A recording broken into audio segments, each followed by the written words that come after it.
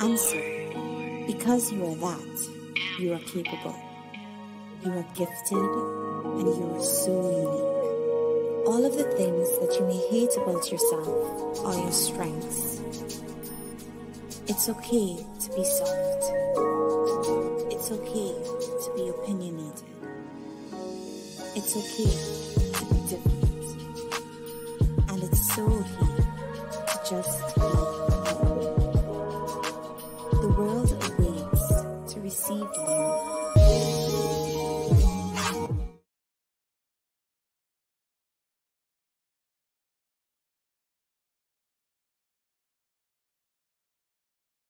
Hold on, hold on, hold on. Let's do it again. Let's do it one more time. Y'all know me. Bitch, I'm back. I'm popular, but Bad Girl Sundays. No, it's Good Girl Sundays. All right, all right. We are back. You know what? I want to get into this next story. This next story is about Usher. Let's get into Usher. Do anybody know what's going on with Usher and his ex-wife? Now, this doesn't specifically involve Usher, but it does involve his wife making a petition to drain Lake Lanier. Okay. Yeah. That's all I'm going to say. I support that. I support it. I support it. I supported black people going in for the kill. Um, the reason why I support it, not only because Lake Lanier has so many untimely, tragic, weird, scary, ghostly deaths, allegedly, not allegedly. Go look up Lake Lanier in Georgia, okay? Gainesville, in Gainesville, okay? When I found out about that, I was like, because I was at work, I was working there, I did a contract out there. I was like, y'all got any water? Because I want to go to the lake in the morning or somewhere. It was like, yeah, you go Lake Lanier. I said, oh, okay. Well, someone told me to Google Lake Lanier, and I was, I was haunted, mysterious death, people being pulled by the leg under the water. And then a, little while later, that's when um, I found out the tragedy happened to Usher's son on that same lake. Okay. Now, Lake Lanier has a very, very, very tragic history behind all of what I've just told you. If you don't know, I gotta tell you just a little bit. So Lake Lanier basically was a, a land that was owned by black people, and we're gonna we're gonna bring it up. That was flooded by the United States. I mean, well, by the Georgia um state of the agriculture or whatever because they wanted the land. Okay. So uh we want to go into a little bit about Lake Lanier. Hold on before we get into the tra- uh the tragic story of actual Usher's son. We're gonna do a little short. I want to I want to find something really short. This is a thriller that someone did about Lake Lanier, but hold on, they got the dive here. Hold on, I want to get something good for you guys because y'all know I have to um improvise. I want to get something good for you guys. Because baby,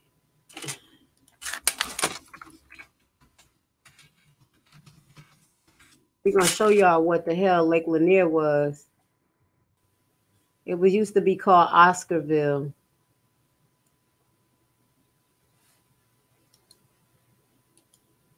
Let's get it.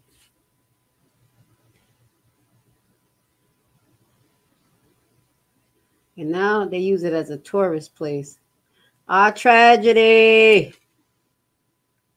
Let's go. All right. Where I'm at, y'all. I got a lot up on the screen. So let's remove this and we're going to get into a little bit about Lake Lanier and why Usher's uh, ex wife wants to get it drained. The book calls for your business.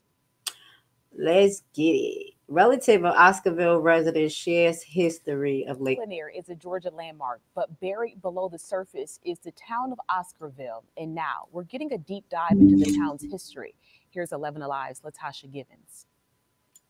When we started working on this story, we set out to track down descendants of Oscarville. Weeks later, we found a family who could trace back their roots four generations. They shared with us stories that were handed down about what the all black town was like, including the night that led to its destruction. Mm. It was set on fire by night riders after they say a white woman was raped. Then later, it was covered by the body of water we now know as Lake Lanier.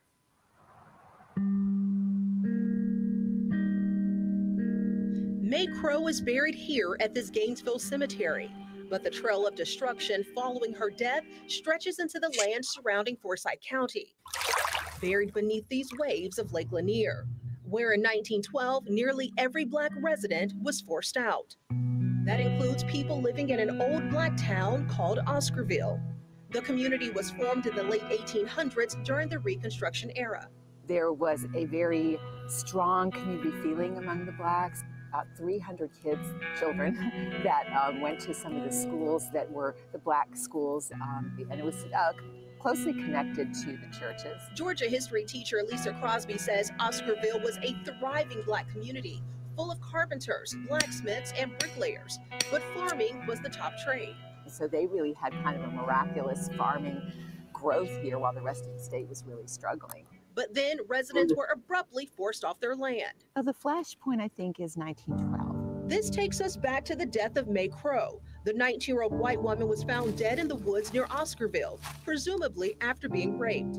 Typically, the answer to white girls being raped was go to the black community and just start blaming people. By nightfall, terror began to reign over Oscarville. So from there, um, the rage and hatred in the community, um, mobs got together and they were called night riders, and they were um, riding throughout Oscarville and driving out the black community.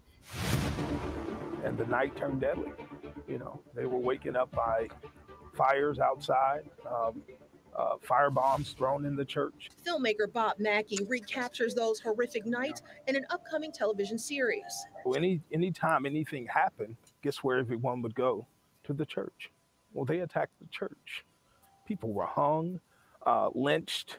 Mackey's series features stories of direct descendants like George Rucker, who can trace his family back four generations to Oscarville. He tells the story of his great grandfather, Bert Oliver, and the entire family being forced off their land. Night riders came through. They had to leave everything. The main thing they left was property. My grandfather had a hundred acres. Rucker says many relatives died as they tried to flee. So when they got to the Chattahoochee River, from what I understand, they were told when the mob got up on the bridge, they were told that they either had to swim or drown. Most of them didn't make it. My grandfather, one of them that did make it, he lost some brothers and sisters. He says his relatives who survived settled in Gainesville.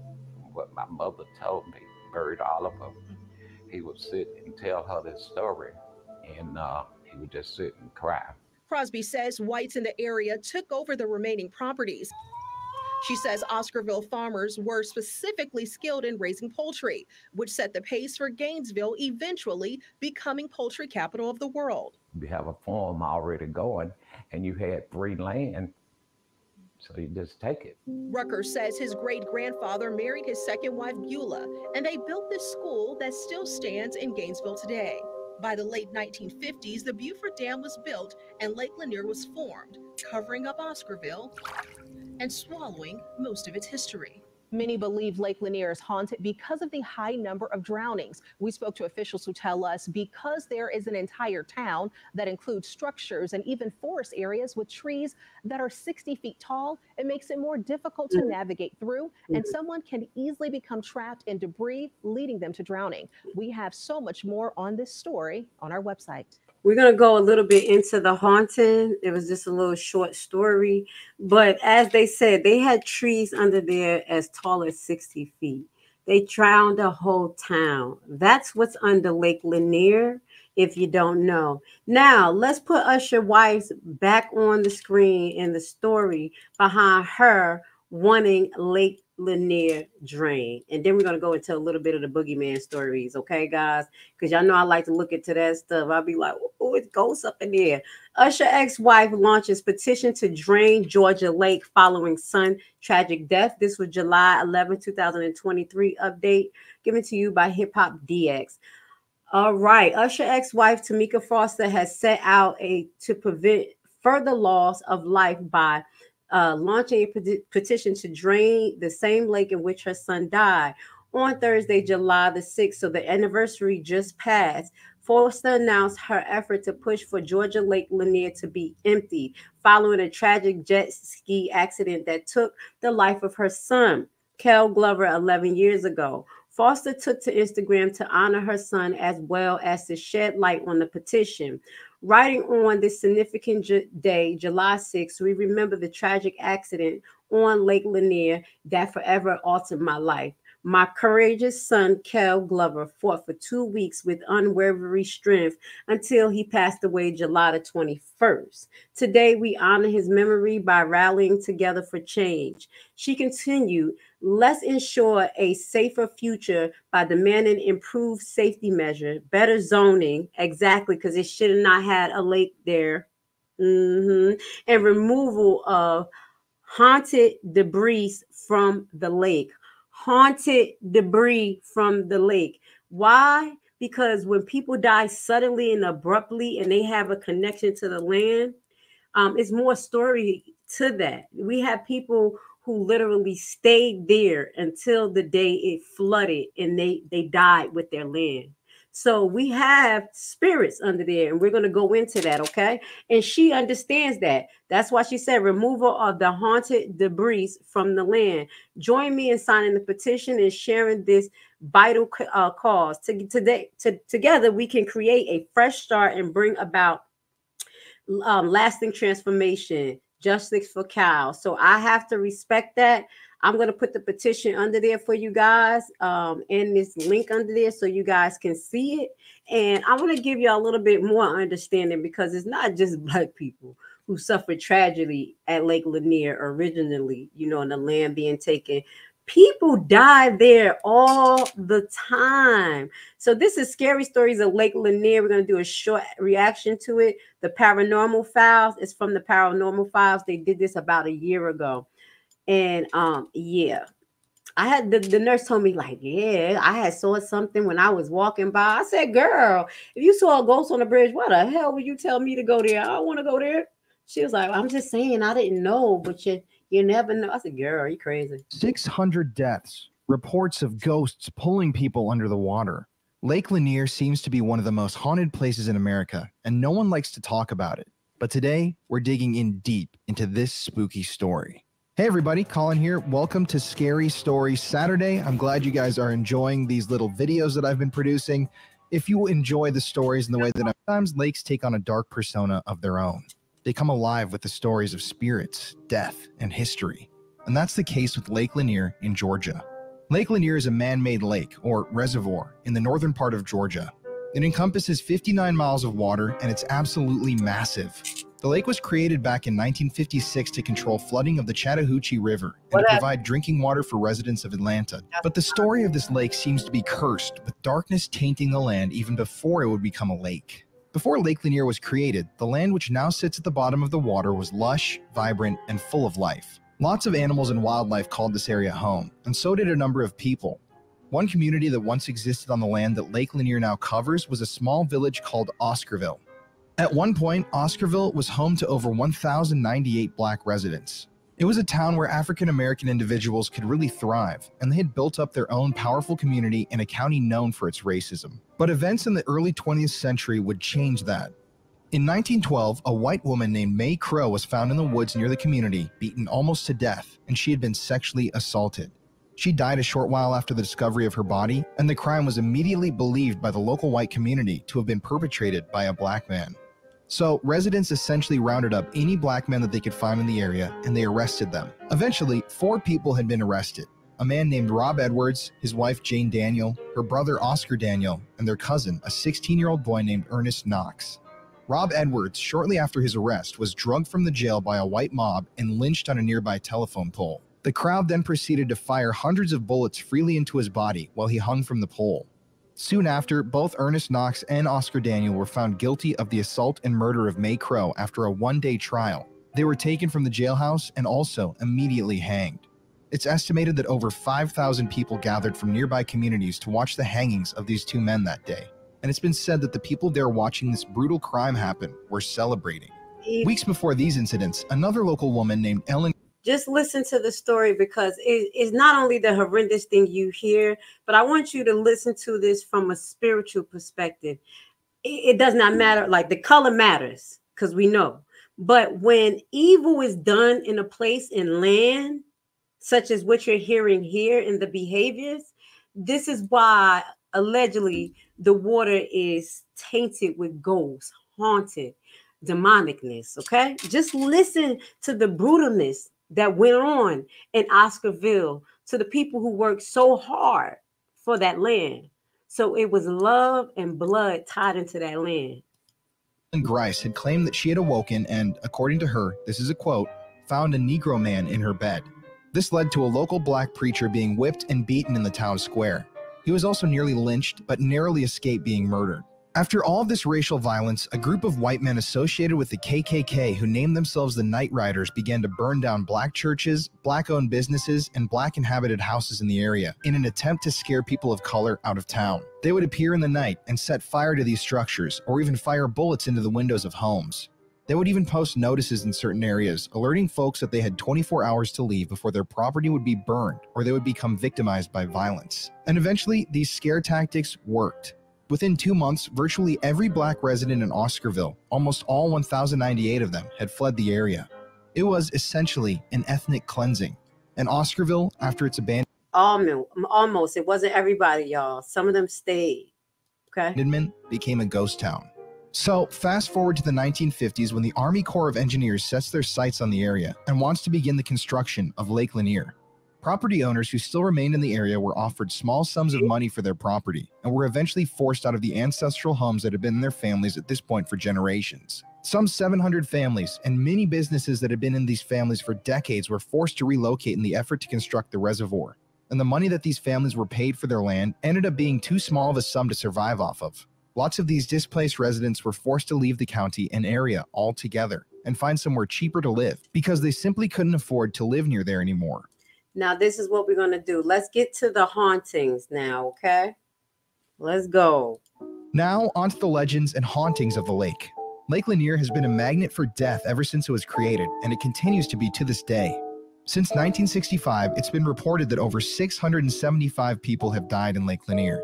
Many of their bodies have never been recovered. Another member of the Army Corps of Engineers, Nicholas Baggett, claimed in an interview that there have been hundreds of drownings and boat accidents on the lake. He also confirmed in the interview that some of the bodies are still there underwater. He also said that without a body, there's no closure for family members who have one of their own die in this body of water. There have been some victims of drownings that have not been recovered, said Baggett during the interview. In 2017, longtime diver Buck Buchanan told local media that he sometimes feels body parts in the lake during his excursions. You reach out into the dark and you feel an arm or a leg, hmm. and it doesn't move, he said. And I don't know exactly what Buck is referring to there. I don't know if he's just talking about stuff on the bottom of the lake or if he's actually, you know, found and felt a body, but it's still just a very eerie quote. And the amount of deaths in this lake is just bizarre. And when you look at the specifics of some of these drownings, the deaths become even weirder. A lot of people have drowned in calm conditions fairly close to the shore. Many who have drowned have been experienced swimmers who just randomly die. Even recently, a professional basketball player entered the water and never left it. Mm. Some individuals who have survived drownings in the lake have claimed that while they were drowning, they felt phantom hands pulling them down into the murky depths, almost like the ghosts of the lake want to end the lives of those brave enough to swim in it. Other people who have survived drownings have allegedly claimed that they felt all of the air suddenly leave their lungs while they were underwater. Regardless, the amount of drownings in the lake is alarming, and many people in the area caution visitors from swimming in the reservoir. There have also been stories of boats just randomly capsizing in the lake. Large boats that one moment are floating peacefully in the water and the next are tipped over and sinking to the depths. Some boat captains have even reported running into large objects in the lake with their boats. But when they look down at the water to see what they hit, there's nothing there, just the dark, open water. It's also been said that massive waves and storm systems will appear out of nowhere on the lake. One moment the weather will be calm, and only minutes later, your boat is in danger of capsizing. I don't know how the hell this could be happening, but based on the staggering amount of reports of this phenomenon occurring, it seems that indeed it is. Lake Lanier has also been a place haunted by strange disappearances, murders, and mysteries. All right, we went in and we just went in, guys. I wanted you guys to understand why Usher wife is calling for the draining of Lake Lanier. And I agree to that, not only for retribution to us, the people of Oscarville, uh, black slaves, ex-black slaves who worked hard for their land, but also retribution to all these families who suffering deaths at the hands of this lake. The lake is dangerous, okay? The real estate market often seems like a distant world where only an elite of experts is successful. In a time of so much uncertainty in the air and bad news, realist investing can seem intimidating. But today, I want to tell you that if you make the right decision today, you can enter the real estate market from the back door. Bad credit record? No credit at all. Do you dread the idea of having a home loan? Do you dream of owning investment properties? You are in the right place and right time because we have created a program which is a tax lien and deed investment online course of only 14 hours. This course is specially designed for people like you who have big dreams. You will learn at your own pace and everything from your home computer. This is your chance. Join our membership for $19.99 a year. What are you waiting for?